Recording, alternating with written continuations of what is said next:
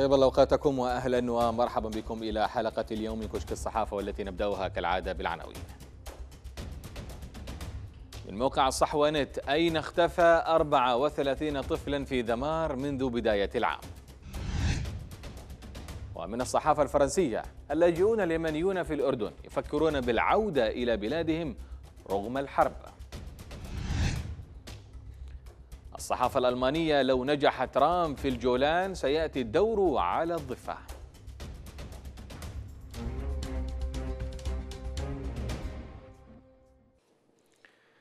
عندما يختفي ابنك في دمار فغريمك واحد كما يقول الأهالي في المحافظة التي شهدت أكثر الجنائز وأشد الأحزان وعنون موقع الصحونت.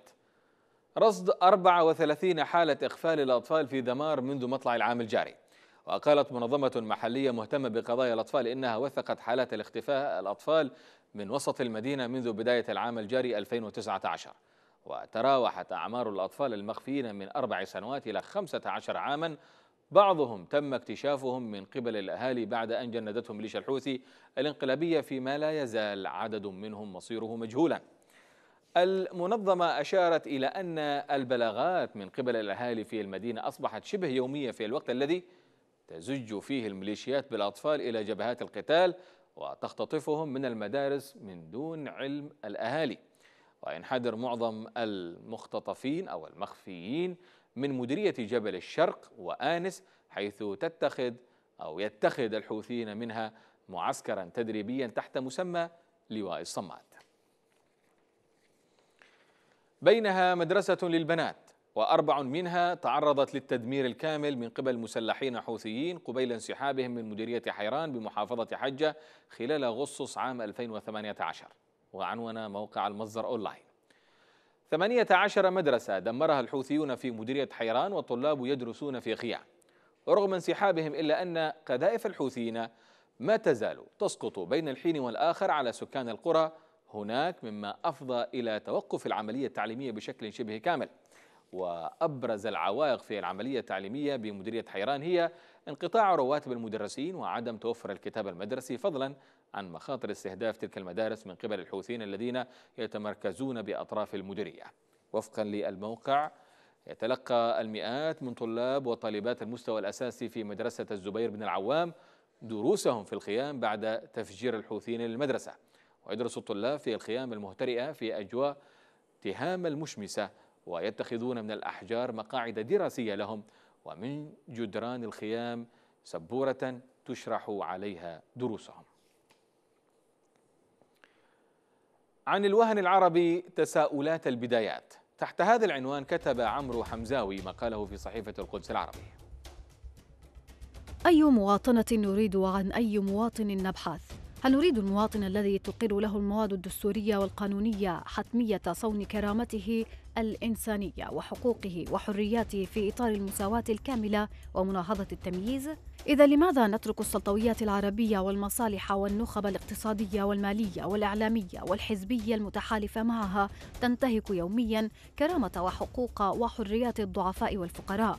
كيف نقبل النظر بمعايير مزدوجة لانتهاكات الحقوق والحريات؟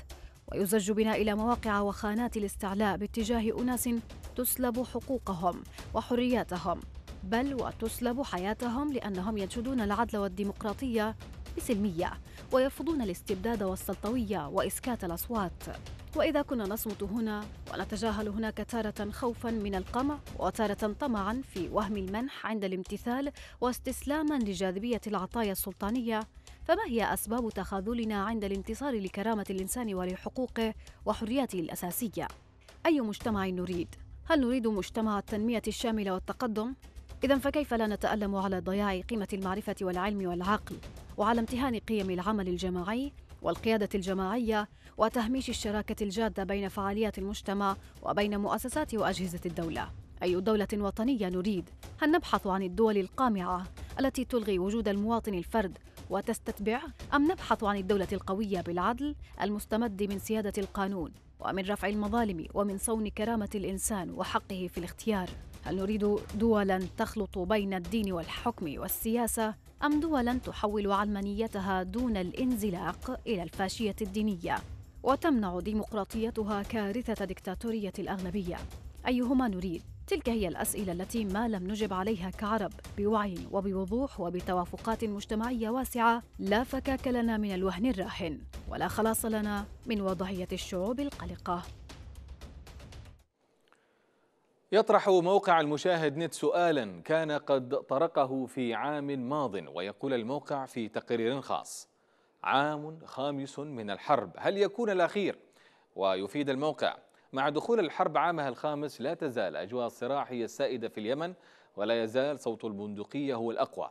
وفقا للموقع تحل الذكرى الرابعة لانطلاق عاصفة الحزم هذا العام دون تقدم يذكر في إطار مفاوضات السلام التي عول عليها البعض لإنهاء الحرب رغم تفاقم الأزمة الإنسانية والكوارث التي خلفتها بحق المدنيين. وفشلت كل محاولات التوصل إلى حل سياسي وإنهاء الحرب منذ سيطرة الحوثيين على العاصمة صنعاء في سبتمبر 2014 وتدخل التحالف العربي بقيادة السعودية بالنزاع دعما للحكومة اليمنية في السادس والعشرين من مارس 2015 ولم يتمكن التحالف من تحقيق أهدافه المتمثلة بإعادة الشرعية عقب انقلاب جماعة الحوثي على الحكم في اليمن بل انحرفت بوصلة أهدافه من استعادة الدولة باتجاه أهداف أخرى غير معلنة. سجل أدب الأطفال في اليمن بداية جيدة في سبعينيات القرن الماضي لكن عوامل كثيرة تضافرت لتقف عائقا أمام تطوره. ما جعله يبقى مقتصرا على تجارب متناثرة ومحدودة تحكمها العشوائية والموسومية وحاليا تعيش البلاد زمن التراجع في كل شيء. وفقا لصحيفة العرب الجديد. ليس الأطفال ليس لأطفال اليمن من يكتب لهم. وتقول الصحيفة إن الثقافة المنتجة للطفل باتت مغيبة تماما عن المشهد الثقافي خصوصا خلال الحرب الدائرة منذ سنوات والأطفال من أبرز ضحاياها.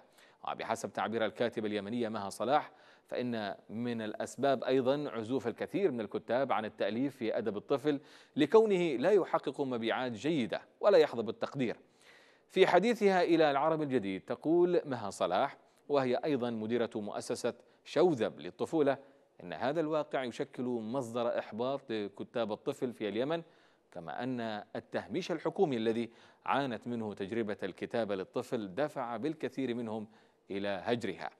الكاتب ثابت القوطاري يقول معظم المكتبات أغلقت بسبب الحرب وتوقف الدعم بينما ظلت الباقية منها بلا فاعلية تذكر. اليوم الثاني نواصل نشر أجزاء من المقال الهام الذي كتبه المفكر المعروف فرانسيس فوكويوما تحت عنوان انتصار الهوية والذي ترجمت الغد أو ترجمة الغد بعضا من فقراته وجاء فيه. الكثير من الناس ليسوا راضين عن فكرة الاعتراف المتساوي بالناس كجنس بشري جامع وبأحد المعاني يشكل هذا الاعتراف شرطا للحياة الحديثة. ويعني التحديث التغيير الثابت المستمر والخلخلة وفتح خيارات لم تكن متاحة سابقا وهو شيء جيد إلى حد كبير.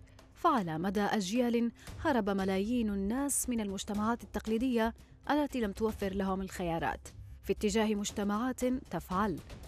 لكن الحرية ودرجة الاختيار التي توجد في مجتمع ليبرالي حديث يمكن أن تجعل الناس أيضا تعساء ومنفصلين عن نظرائهم من البشر. إنهم يجدون أنفسهم يتوقون إلى المجتمع والحياة المنظمة التي يعتقدون أنهم فقدوها أو التي يفترض أن أسلافهم امتلكوها. والهويات الأصلية التي يسعون إليها هي هويات تربطهم بالناس الآخرين. ويمكن أن يخضع الناس الذين يشعرون بهذه الطريقة إلى إغواء القادة الذين يقولون لهم إنهم تعرضوا للخيانة وعدم الاحترام من قبل هياكل السلطة القائمة. وأنهم أعضاء في مجتمعات مهمة ينبغي الاعتراف بعظمتها مرة أخرى. مع ذلك تقتضي طبيعة الهوية الحديثة أنها قابلة للتغيير. ربما يقنع بعض الأفراد أنفسهم بأن هوياتهم قائمة على تكوينهم البيولوجي وأنها خارجة على نطاق سيطرتهم. لكن لدى مواطني المجتمعات الحديثة هويات متعددة. هويات تشكلها التفاعلات الاجتماعية للناس هويات تتحدد بالعرق والجندر ومكان العمل والتعليم والولاءات والأمة. وعلى الرغم من أن منطق سياسات الهوية هو تقسيم المجتمعات إلى مجموعات صغيرة متمركزة على ذاتها فإن من الممكن أيضا خلق هويات تكون أوسع وأكثر تكاملية. الصحفي جيروم بروزويسكي سلط الضوء في صحيفة أو في صحيفة لاكروا الفرنسية على أوضاع اليمنيين في بلدهم العربي الأردن وقال بأن اللاجئين اليمنيين هناك تعرضون للتمييز فيما يبدأ الصحفي مقاله بالقول. اللاجئون اليمنيون في الأردن يحصلون على مساعدات زهيدة وبعضهم يفكر في العودة إلى بلادهم التي تشهد الحرب. تجمع اليمنيون نظرا للمصاعب التي يعيشونها في عمان عاصمة الأردن ويتردد اللاجئون اليمنيون على نفس الأحياء والمساجد والشركات. يقول طاهر وهو يجلس على سجاد ممزق بمطعم يديره مواطنه.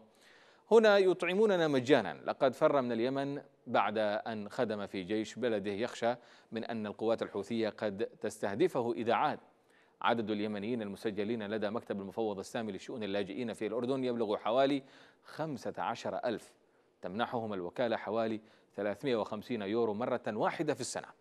ويبلغ غير آه، وهو مبلغ غير كاف لتغطية احتياجات الأسرة في الأردن. لذلك يجب على اللاجئين اليمنيين العمل.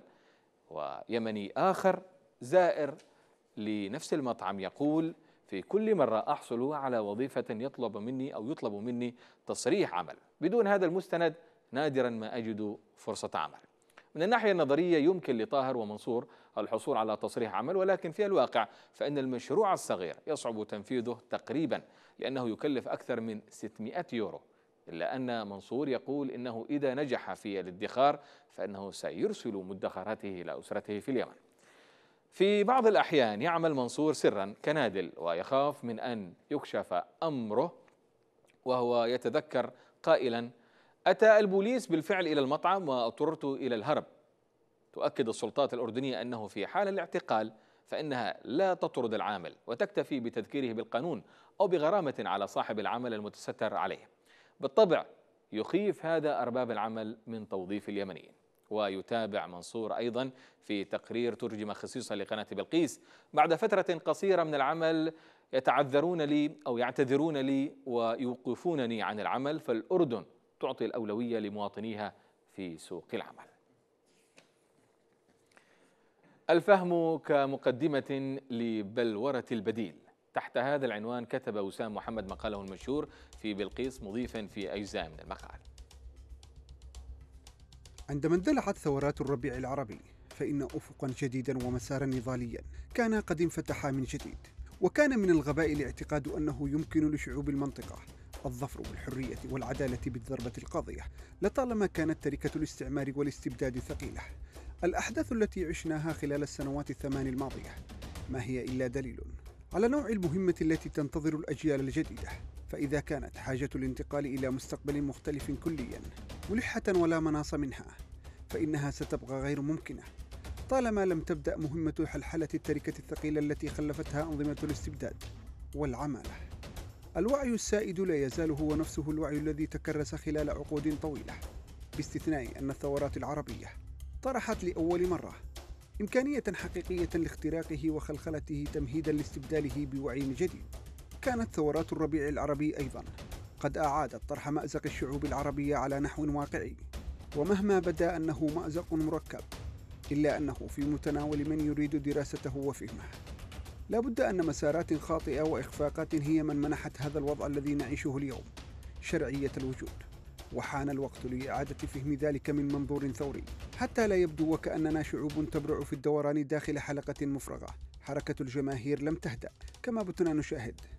لا تزال مشتعلة في كل البلدان العربية بطريقة أو بأخرى. وهذا يعني قابلية هذه الجماهير للتجاوب مع أي خطاب سياسي جديد يعبر عن مصالحها. ويكسبها الوعي المطابق لها. تقدم ثورات التكنولوجيا اليوم. ميزات لم تكن متوفرة حتى وقت قريب وهي ميزات تختصر الزمان. لو أن هناك خيالا سياسيا منفتحا يستطيع الإفادة منها من أجل الوصول إلى الجماهير بعد فهم حاجتها وما ينقصها للظفر بالخلاص. انشغلت الصحف الألمانية في تعليقاتها باعتراف ترامب بسيادة إسرائيل على الجولان. والتصعيد مع حماس وتناولت آثار ذلك كله على المنطقة والقضية الفلسطينية. وفقا لموقع دي دبليو. صحيفة ألمانية. لو نجح ترامب في الجولان سيأتي الدور على الضفة.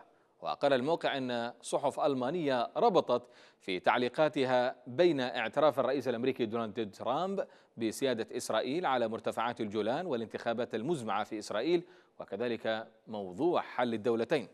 وكتبت صحيفة فرانكفورت التي تقول الموقف الاستراتيجي لن يتغير فيه شيء والأمر الأكثر إثارة للاهتمام هو ما إذا كان إعلان ترامب سيحقق المقصد المفترض أي مساعدة نتنياهو في الحملة الانتخابية. قطعا سيكون رئيس الوزراء الإسرائيلي ممتنا في الوقت الحالي لأي عنوان رئيسي يصرف عنه إلى حد ما مزاعم الفساد الموجهة له. أما ترامب فقد ضرب عصفورين بحجر فهو يدعم رجله في القدس ويلمع نفسه من جديد في بلده أمريكا كصديق لإسرائيل بينما يواجه الديمقراطيون حاليا مشكلة تخص معاداة السامية. صحيفة ألمانية أخ أخرى قالت ترامب يقول الآن للعالم عليكم الاعتراف بأن مرتفعات الجولان تنتمي لإسرائيل. ولو نجح ترامب بخصوص ضم الجولان فإن الخطوة القادمة ربما تكون الأراضي الفلسطينية في الضفة الغربية. عدد من الصور توثيق أو توثق لأهم الأحداث كما نشرتها صحيفة الجارديان البريطانية ونتابعها في جولتنا المصورة لهذا اليوم.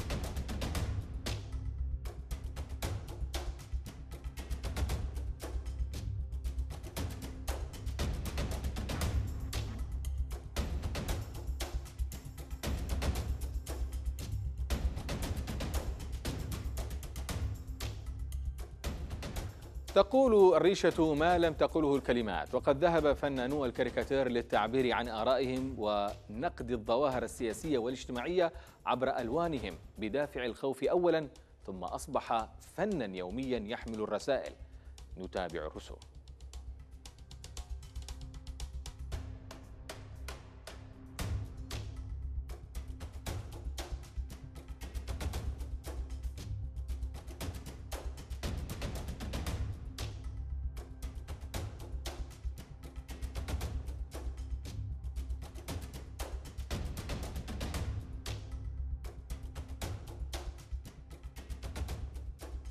وبهذه الرسوم الكاريكاتورية نكون قد وصلنا وإياكم إلى ختام حلقتنا لهذا اليوم من كشك الصحافة.